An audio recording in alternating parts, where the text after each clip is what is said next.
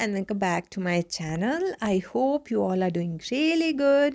और आज की जो वीडियो है, वो है बेस्ड मेरी स्किन केयर पर जी हाँ आप बहुत सारे मुझे मैसेजेस भेज रहे हो इंस्टाग्राम पर एंड ऑब्वियसली कमेंट भी कर रहे हो मेरे यूट्यूब पर फॉर माई स्किन केयर तो मुझे लगा कि अब जल्दी से मुझे वीडियो शेयर कर देनी चाहिए तो मैंने जल्दी से ये सुबह सुबह अपने पीजेस में अपनी स्किन केयर जब मैं शुरू कर रही थी तो मुझे लगा कि चलो फ़िल्म कर लेते हैं और आपको मैं सब चीज़ बताती हूँ जो भी मैं अपनी स्किन और हेयर केयर में इनकॉर्पोरेट करती हूँ चीज़ें, वो सब आपसे शेयर करूँगी। बहुत ही सिंपल सा स्किन केयर है बट मैं एक चीज़ आपको बताऊँगी, अच्छी स्किन का राज है रेगुलर रहना। आप रेगुलर रहिए, चाहे आप टू स्टेप स्किन केयर करिए बट रेगुलर रहिए। तो मैं सब कुछ आपको बताऊँगी तो चलिए शुरू करते हैं। तो सबसे पहले तो आ, मैं आपको बता दूँ कि रात को मैं अपना फेस जो है ना वो धो के सोती हूँ अच्छे से अपना क्लीन करके सोती हूँ। तो सुबह मेरी स्किन क्लीन होती है तो मैं फेस वॉश नहीं करती हूँ। पहले सबसे पहले मैं करती हूँ आइस रोलिंग अब आइस रोलिंग के बारे में अगर आपको नहीं पता है तो इस पर मैंने पूरी वीडियो बनाई है। मैं आप आप वो देख सकते हैं लिंक जो है डिस्क्रिप्शन बॉक्स में दूँगी। ये सबसे पहले सुबह उठते ही मैं ये चीज़ करती हूँ। एंड इसने लिटरली मेरी स्किन बहुत ज़्यादा चेंज की है, बहुत ही ज़्यादा। मेरे पोर्स या फिर आप कह लीजिए कि अगर स्किन सैगी स्किन है ना, वो भी इससे टाइट होती है एंड ये बहुत हंड्रेड परसेंट वर्क करता है। आप इसको ट्राई ज़रूर कीजिए। तो मैं ये आइस रोलर यहाँ पे यूज़ कर रही हूँ। इसके बारे में मैंने शेयर किया है। बहुत ही सस्ता सा रोलर है। बिल्कुल भी महँगा नहीं है। अमेज़ोन से आपको मिल जाएगा। एंड ये आपकी स्किन को बहुत ज़्यादा यू नो एनहांस करने वाला, बहुत ज़्यादा बढ़िया बनाने वाला है। आपकी चाहे किसी भी तरह की स्किन है, ये आपको बहुत ज़्यादा अच्छे रिजल्ट्स देगा। तो सबसे पहला जो मेरा काम होता है, आइस रोलिंग का ही होता है। ये मेरा हर दिन का काम है, इसको मैं कभी स्किप नहीं करती हूँ।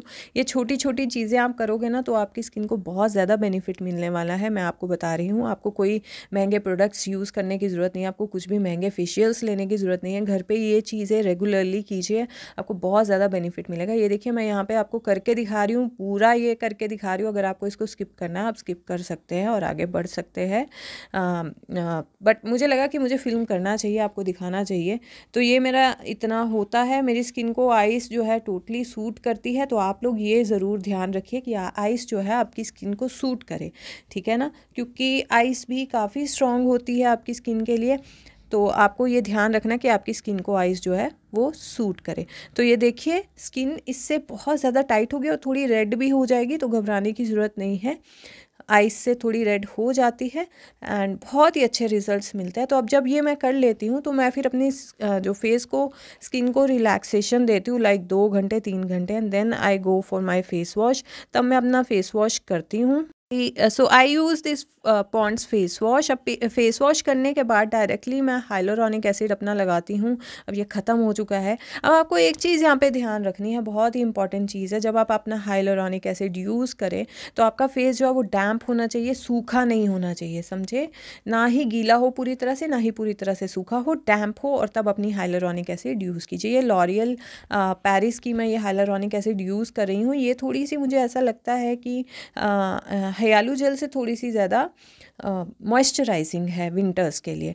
तो if you have hyalu gel तब भी बेस्ट है आप वो भी यूज़ कर सकते हैं। मेरे पास हयालू जेल भी अब ये ख़त्म हो गई है मैं वही यूज़ करूँगी। एंड uh, अगर आपके पास जोन सी भी हाइलोरॉनिक एसिड पड़ी है आप वो लगाइए। तो मैं ये ऐसे डैम्प फेस पे फटाफट से लगा लेती हूँ। अब जैसे ही मैंने हाइलोरॉनिक एसिड लगाई मैं उसको सूखने नहीं देती हूँ।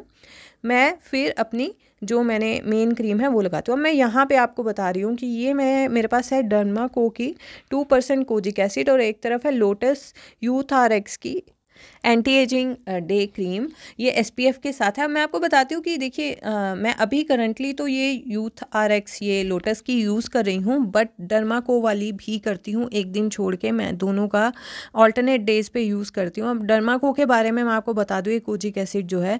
आ, सबसे पहले तो बिल्कुल भी ये स्पॉन्सर्ड वीडियो नहीं है। ये मेरी जेनुअन रिव्यू है। डर्माको की कोजिक एसिड मुझे आ, मेरे सब्सक्राइबर्स ने सजेस्ट की थी। बहुत सारे लोगों ने मुझे मुझे सजेस्ट किया था प्लीज़ कोजिक एसिड का रिव्यू कीजिए। तो मैंने इसको यूज़ किया है मैंने बहुत ज़्यादा यूज़ किया है। हाँ, अगर कहूँ तो अगर आप मेरी करंट स्किन केयर देख रहे हो तो यूथ आर एक्स तो मैं अभी यूज़ करना शुरू करी उससे पहले मैं डर्मा को की ही कोजिक एसिड यूज़ कर रही थी। गाइज़ मैं जेन्यूनली आपको बता रही हूँ बहुत ही ज़्यादा अच्छी लगी मुझे। मतलब कि मेरी स्किन में मुझे विजिबल डिफरेंस दिखा है मेरी स्किन ब्राइटर हो गई है। ब्राइटर मतलब बहुत ज़्यादा अच्छा कॉम्प्लेक्शन हो गया मेरी स्किन का। अब मैं ये नहीं कह रही हूँ कि गोरी करती है इट्स लाइक like कि जो आपकी स्किन पे जैसे डार्कनेस है या हल्की सी आपके ये डार्क स्पॉट्स हैं, इनको बहुत ज़्यादा लाइट करती है और आपकी स्किन है ना, बहुत ज़्यादा अच्छी ब्राइटर होती है विजिबली ब्राइटर होती है, बहुत ही अच्छे रिजल्ट्स मिलते हैं। तो मैं इसको छोड़ नहीं पा रही हूँ अब, क्योंकि अब ये यूथ आर एक्स मैं ट्राई कर रही थी एंटी एजिंग है एस पी एफ़ है तो मैं ऑल्टरनेट डेज़ पे इसको यूज़ कर रही हूँ। तो इफ़ यू हैव लाइक ये लोटस की यूथ आर एक्स में एस पी एफ़ आपको मिलेगा थर्टी तो ये भी अच्छी है। ये एंटी एजिंग है तो इसको मैं ज़रूर यूज़ कर रही हूँ। एक दिन ये यूज़ करती हूँ, अगले दिन मैं अपना डर्माको का लैक्टिक एसिड यूज़ करती हूँ। तो मैं आपको बता दूँ, जब मुझे बाहर जाना होता है मॉर्निंग टाइम में, तब मैं लैक्टिक एसिड नहीं यूज़ करती हूँ, मैं तब ये एंटी एजिंग यूज़ करती हूँ। और जिस दिन मुझे बाहर नहीं जाना, उस दिन मैं डमाको का ये कोजिक एसिड यूज़ करती हूँ। तो उसके बाद मैं अपनी सनस्क्रीन लगाती हूँ न्यूट्रोजीना की सनस्क्रीन मैं यूज़ करती हूँ। तो इसकी ये देखिए, इसका ढक्कन गुम गया, मुझसे मुझे नहीं पता कहाँ पर है। तो ये ख़त्म होने वाली ऑलमोस्ट मेरी बॉटल एंड बहुत मैं इसका एक आपको डिटेल रिव्यू दूँगी guys so if you have pigmentation या डार्क स्पॉट्स या ऐसे इश्यूज़ है ना आपके फेस पे तो आप ये ट्राई कर सकते हो कोचिक एसिड मुझे तो बहुत ही ज़्यादा अच्छी लगी. I just love it hundred percent genuine है. मैं आपको बता रही हूँ, कोई मेरा कंपनी से कुछ लेना देना नहीं है. ये मेरा पर्सनल रिव्यू है. मैंने खुद अपने पैसे से बाय करके इसको यूज़ किया है. And I just love it उसके बाद मैं ये अपना लिप लिप ग्लॉस लगा लेती हूँ लिप बाम भी लगा लेती हूँ। बहुत मॉइस्चराइजिंग है एंड कलर चेंजिंग है आपके लिप्स को पिंक कर देता है बहुत ही अच्छा इफ़ेक्ट देता है। सो so, ये मेरा एक बेसिक सा स्किन केयर है। आई होप आपको अच्छा लगा होगा। एंड फिर अपना आप अपनी लाइक यू नो सनस्क्रीन अच्छे से लगा लीजिए। अगर आपको बाहर जाना मैं न्यूट्रोजिना की सनस्क्रीन यूज़ करती हूँ। मैं नीचे आपको सनस्क्रीन के भी लिंक्स दे दूँगी, अगर आपकी ऑयली या ड्राई स्किन है, उसके लिए। सो दिस इज़ इट ये मेरा स्किन केयर है। बहुत ही हल्का सा। मैं आपको अब कुछ टिप्स दे देती हूँ, जो मैं यूज़ करती हूँ चीज़ें।